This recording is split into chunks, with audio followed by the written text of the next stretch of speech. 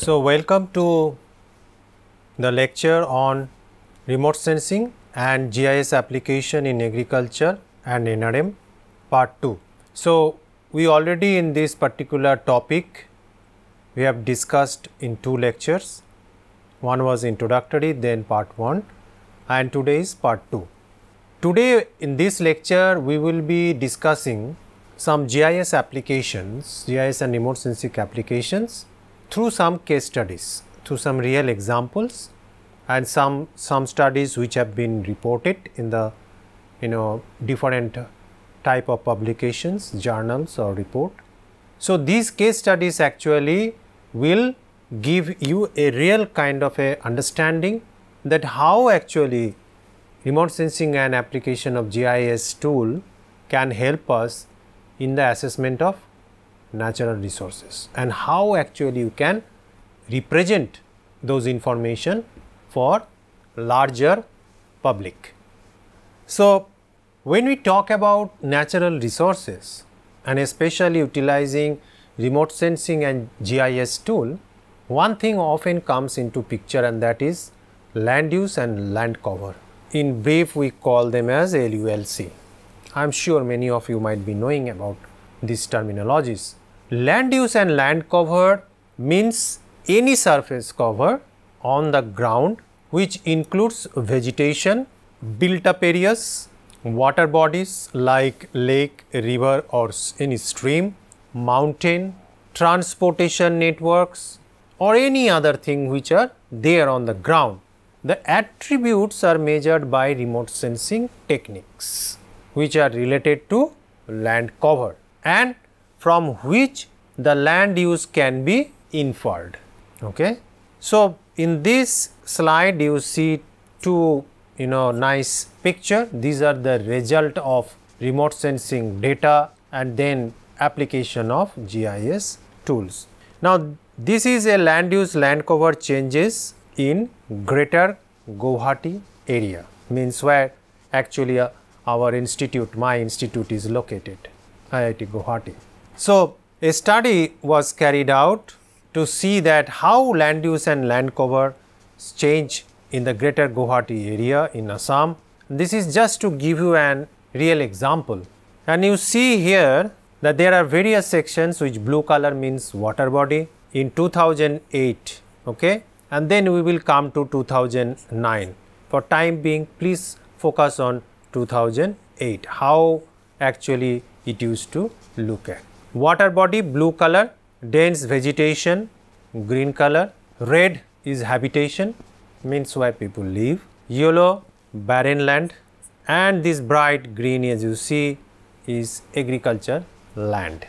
Now try to focus on the agricultural land because agricultural land needs agriculture purpose need natural resources like fertile soil, water etc., etc. You look at also little bit on the red part on this map and then vis-a-vis try to see compare with 2019 very recently. You can see the area of the red color is quite significantly increased in 2019 from 2008. Some you can see that the agricultural area particularly in this point if you see that large amount of agricultural areas still were there, but they are not here, but taken by whom? Taken by habitation. That is one OD. Okay. Also, if you come here in this particular corner and compare with current situation, here also you can see that the red patches have taken over this particular agricultural area, right. Now, you look at the percentage coverage of area, you can see that in 2008 the dense vegetation was 51 percent, here it is 40 percent in 2019. Look at the increase of habitation, it was roughly 26 percent, habitation means houses where people. We live. So, it was only around 26 percent in 2008, but by the time it is 2019 it is 43 percent almost. So, imagine that how increase of population in Assam is actually taking a toll on the agriculture as well as the green area, right. Look at the agricultural area around 6 percent which has become here in the 2019 has increased to 9.5. Now, there is one point that I would like to discuss especially. Now, two pockets I have shown you where agricultural land has been partly taken over by habitation, but there is one part where agriculture has suddenly increased and that is the point is here this corner. Now, where from agriculture comes here? Agriculture comes here, here in the place of dense forest. So, dense forest has been cut and then agriculture has come in. Now, this is also a point of discussion. There are several uh, debates is taking place, you know, across the country and world that is it a good idea to convert forest area into agriculture area? Is it a good idea that agricultural areas converted or occupied by habitation as you see in this particular study? Now, these all actually are point of dialogues, discussion and policy matters. Now, for that kind of discussion GIS and remote sensing helps because when you present this kind of comparative picture of 2008 and 2019 then for the people for people who takes decision at the parliament or at the assembly policy makers lawmakers they can easily get the clear picture differences in the 10 or 12 years and then they can take a call no we are going in a wrong direction so we should correct it so gis and remote sensing helps you for this kind of exercises. All right. Another example I will give you on LULC and that is from West Bengal, Sundarban area, very famous. We know that it is famous for uh, mangrove and also many others very vulnerable uh, you know ecosystem. Again there is a study carried out by group of researchers. And as you see look at this particular table. 1975 after 15 years 1990 again after 15 16 year in 2006 so every 10 to 15 years how the area that particular area of sundarban is changing. Now for this also remote sensing gis helps. There are few categories dense mangrove open mangrove agricultural land bare earth non agricultural land and water body so these are the color symbol for each one of these six different types of LULC. And now you look at the percentage change over this every 10 to 15 years. Now, one good thing here you see dense mangrove area is you know increasing, open mangrove is getting reduced, agricultural land got reduced little bit in 1990, but again has come back bare earth means where nothing is there, no vegetation. From 3 it has increased to 7 and then again gone down to 5.6. Non agricultural land almost 2 percent, around 3 percent and then around 3.5 percent. So, that is increasing because with the increase in population food demand will increase then people they will get into agriculture for their livelihood. So, certainly you will see a change in the area of agriculture. Water body almost more or less same, a little bit of change has taken place between 1975 and 2006 in the 30 years. So, in a sense in this area mangrove area I think that system has done reasonably okay job because you do not see you know huge differences I mean negative impacts on the particular this ecosystem. So, as you see that uh, map wise you can present these particular data sets in a very nice manner. So, people again when you present it in a picture form then it is very easy to understand what is happening in particular area. Now, the same data sets you can also present in bar diagram and bar diagram gives you much clearer idea that how you know over the 30 years how the different ecosystem is changing. Look at here the same data sets it is much more easily to understand dense mangrove area is increasing which is a good thing. Open mangrove is reducing but not that significantly. Agricultural land going up and down.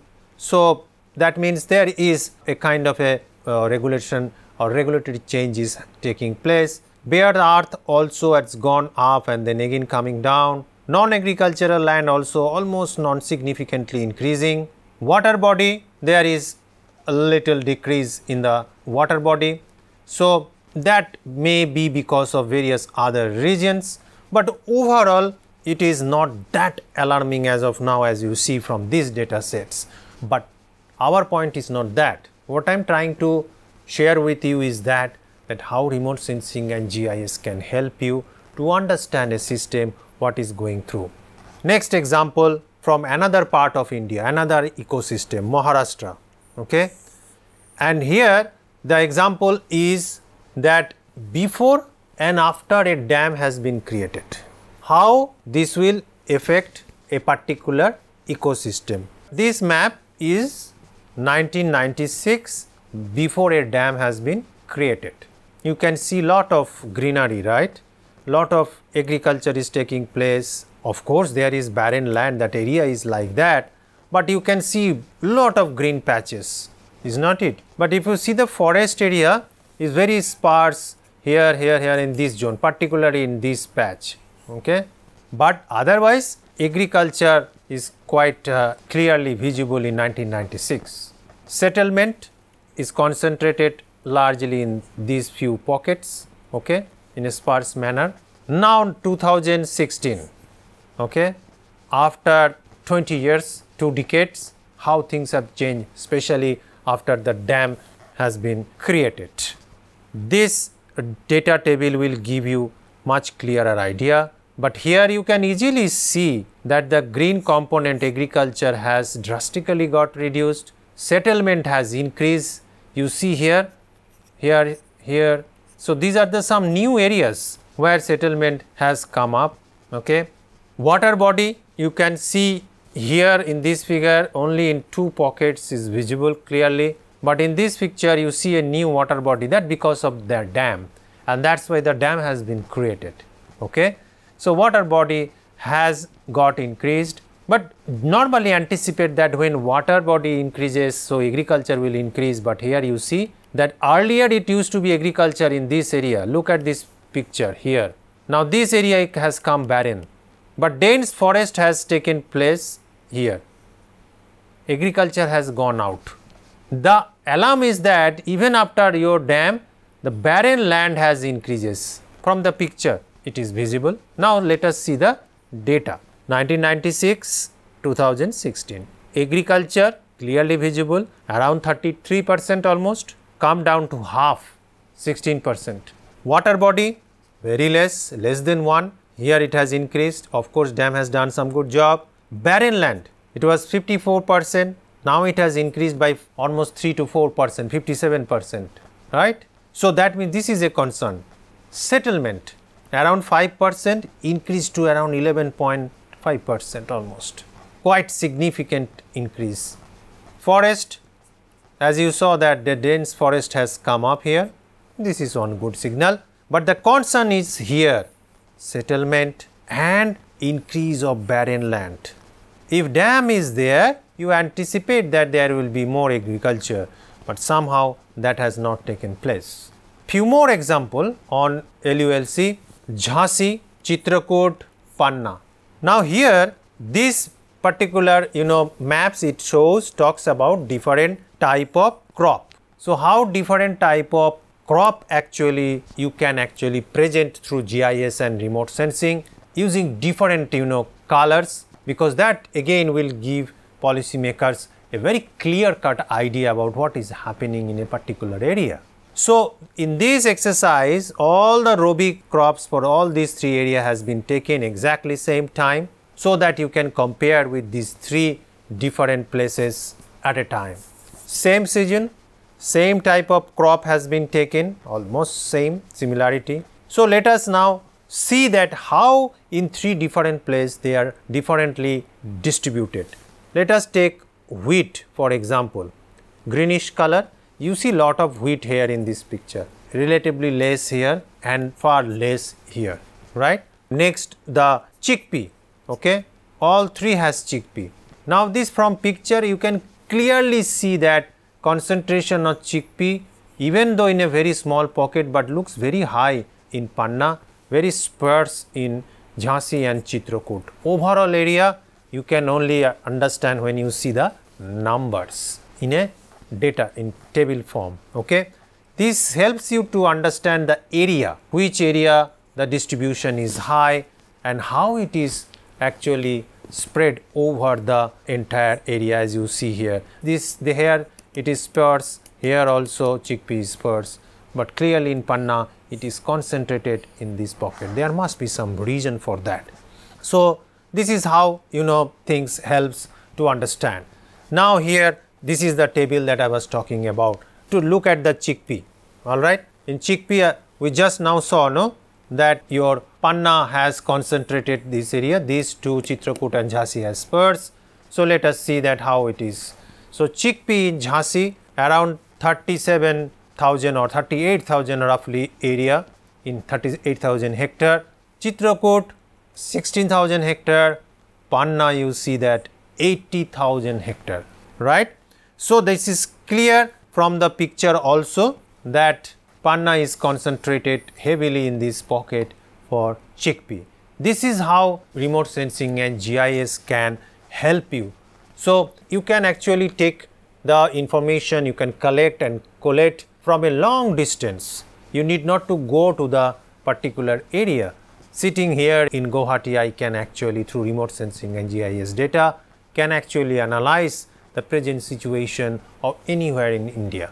That is the beauty of this technology.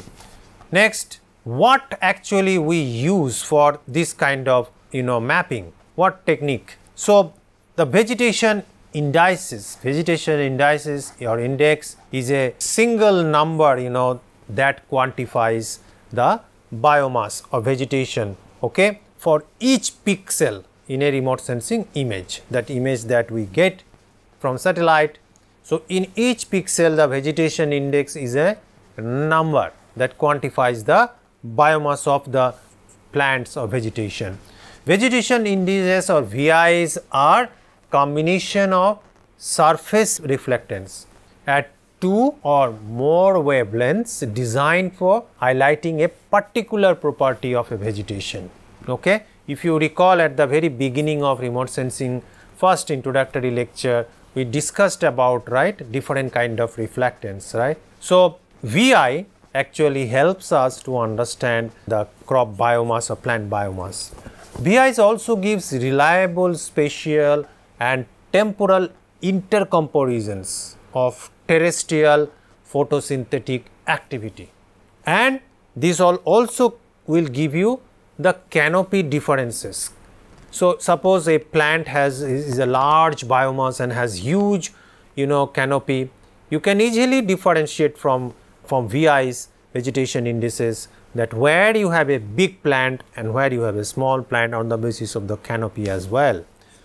Mathematically, vegetation index compares the number of absorbed light okay, which are coming from different wavelengths as for example, visible range, you know, infrared, whatever that we have discussed no, in the previous classes. Vegetation indices are you know designed to maximize the sensitivity to the vegetation characteristics while minimizing the confounding factors such as your background reflectance from the soil or the directional effects or atmospheric effects. In atmosphere, if there are you know lot of moisture or dust particle, aerosols, so they will also you know affect. So, finally, the measurements of this vegetation attributes include your leaf area index LAI, percentage green cover, chlorophyll content, green biomass and absorb photosynthetically active radiation which we call as APAR is a very very important phenomenon in the field of GIS remote sensing APAR. Okay. Now, how we calculate all these vegetation indices, all right. Each one of these has different formula to calculate. Now, let us start with the simplest one RVI or ratio vegetation index. RVI we can calculate with this formula rho NIR by R where NIR is near infrared wavelength and R stands for red. Then we have DVI difference vegetation index. DVI you can calculate through this formula rho NIR minus rho R again near infrared minus red.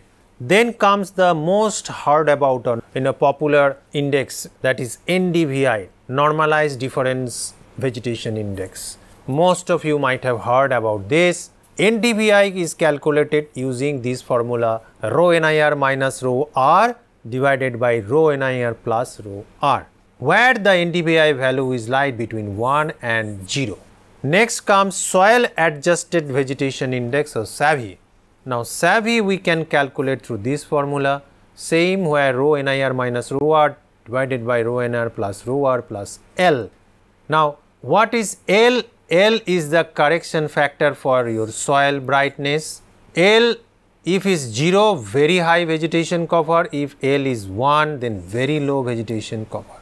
Okay. Enhanced vegetation index or EVI you calculate using this formula G rho NIR by minus rho R, rho NIR plus C 1 rho R minus C 2 rho B plus L. What does this means?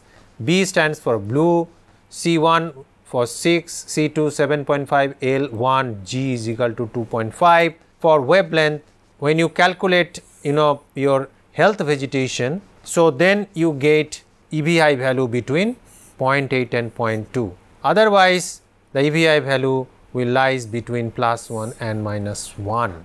Okay? Next, OSAVI optimized soil adjusted vegetation index here L value we considered as 0.16. Transform vegetation TVI same you use NIR and R wavelength value rho NIR minus rho R by rho NIR plus rho plus 0.5 and then you calculate the TVI from NDVI value basically you get NDVI plus 0.5 square root of that value. Then comes vegetation condition index or VCI. Again you use NDVIs to come to VCIs. NDVI J stands for that NDVI for jth month or jth week. NDVI minimum is a long term like as for example 30 years of minimum NDVI for jth month a particular month or week for continuous 30 years. Suppose you have taken say July of any year 30 years you have observed that July month data only.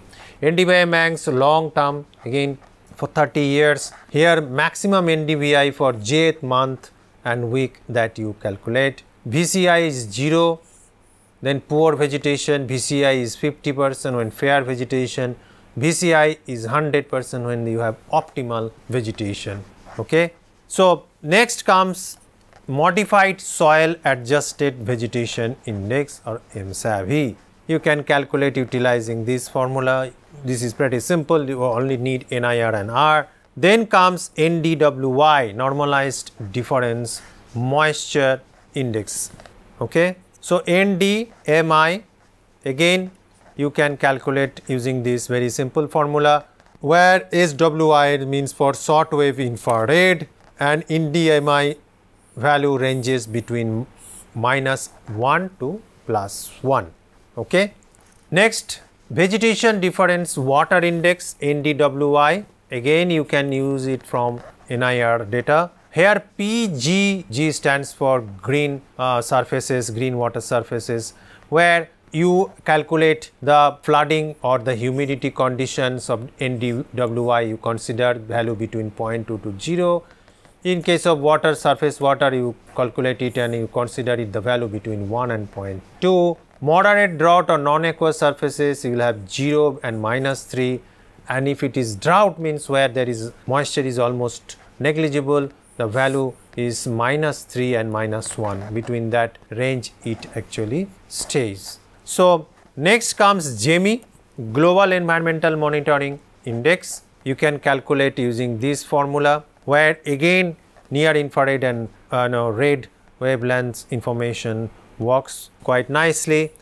Next comes normalized difference red edge index NDRE. Once again here you know near infrared information helps you. Now red edge index actually you carry out it for soil or land health condition monitoring.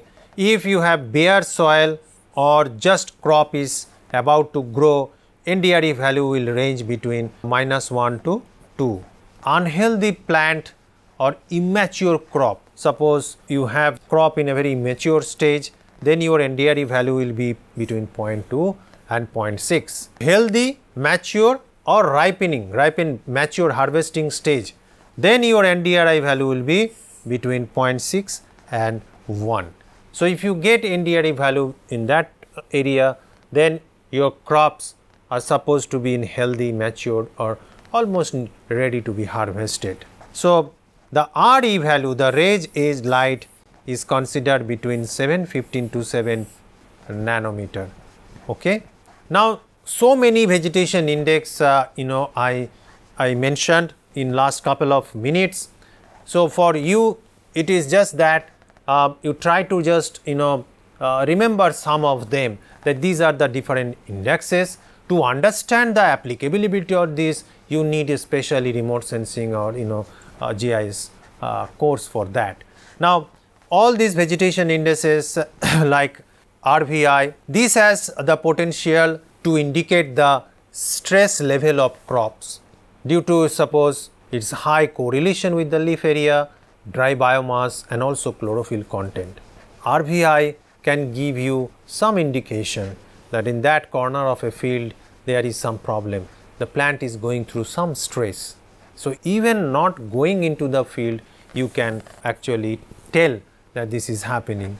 DVI it helps in distinguishing between soil and vegetation or crops or plants, but it, it does not account for the difference between the reflectance and the radiance caused by the atmospheric effects, various atmospheric effects or shadows for, for any region. Okay?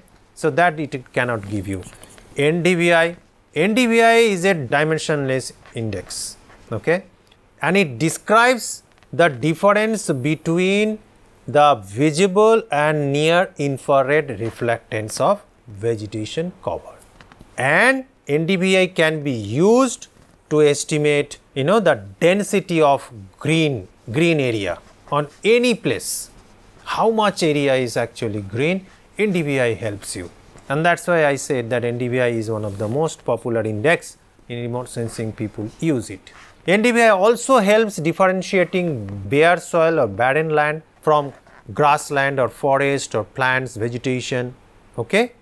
It can also helps you differentiating between different crops and crop stages. Suppose rice transplantation stages green maturity stages golden yellow. So you see it can clearly capture that through ndvi ndvi values as i said that it ranges between minus 1 to 1 with negative values indicating clouds and water. Positive values near 0 indicates bare soil. Higher positive values ranging from 0.1 to 0.5 you know it gives sparse vegetation and if you have dense vegetation then it will be above 0.6 greater than 0.6 but can go up to 1.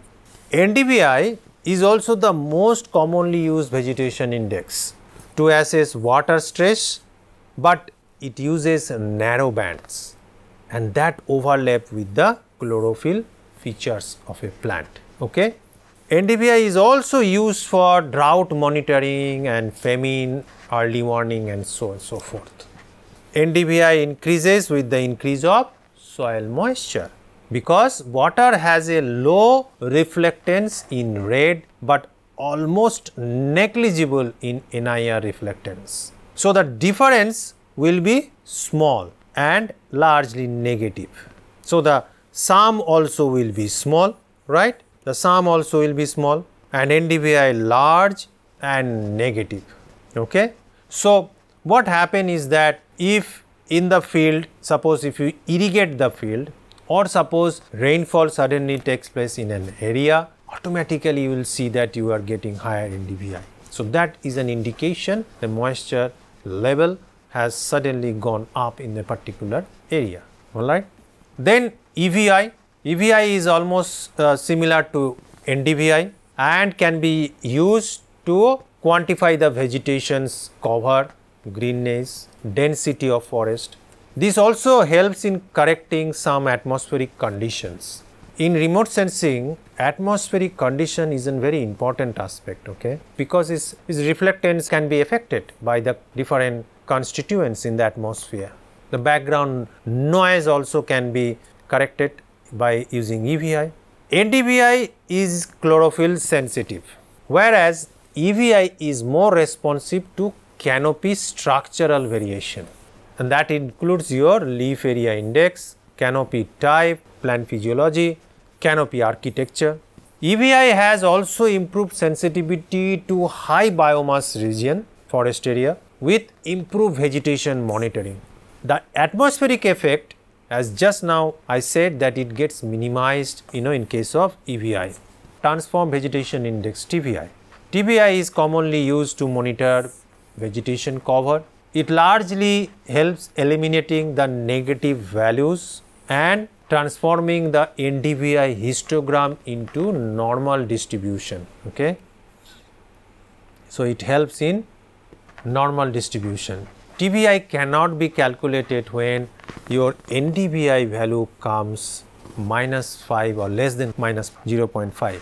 Next, NDMI is used for determining the vegetation water content. NDWI is strongly related to plant water content and that is why NDWI can be used to understand if plant is going through under water stress or not. So, to understand in a field suppose rice plant we all know it requires so much of water. If there is less water and plant is running out of water NDWI will can help you to give an early warning. NDMI moisture index general value ranges from 0.685 to 0.154 whereas for the same condition NDWI value ranges from 0.146 to 0.444. Okay. Then NDVI is more sensitive to chlorophyll content in the leaves, whereas NDWI is sensitive to the water content in the leaves and that is why if plant is running out of water NDWI will be better index. Optimized soil adjusted vegetation index OSAVI we discussed through you know previous slides that it uses a standard value of 0.16 for the you know canopy background adjustment factor instead of 0.5 which is generally used for SAVI. Okay. Modified soil adjusted vegetation index again it is designed to substitute NDVI and NDRE where they fail to provide us accurate data due to suppose low vegetation or a lack of chlorophyll in the plants. In that kind of condition MSAVI will help you. MSAVI also minimizes the effect of bare soil on SAVI. Okay. Then comes GEMI. GEMI is almost similar to NDVI, but it is less sensitive to atmospheric effect. GEMI is more affected by bare soil and that is why GEMI should not be used for areas where vegetation is very less, most of barren land. GEMI may not be a good index to use for. NDRE normalized difference red edge index is a method of measuring the amount of chlorophyll in the plants. It can be used generally in the mid to late growing season when the plants are mature. Imagine the rice field, okay. I am sure most of you know about rice, rice growth stages. It takes around 90 days. You transplant very light green and then it tillering stage deep green so, rice 90 days it gives you know clearly different stages. So, NDRE is used generally in the mid to late growing season when the plants are mature and ready to be harvested and when the chlorophyll concentration is relatively higher. And during this time your other vegetation index would be less effective. Only NDRE can help you in such condition.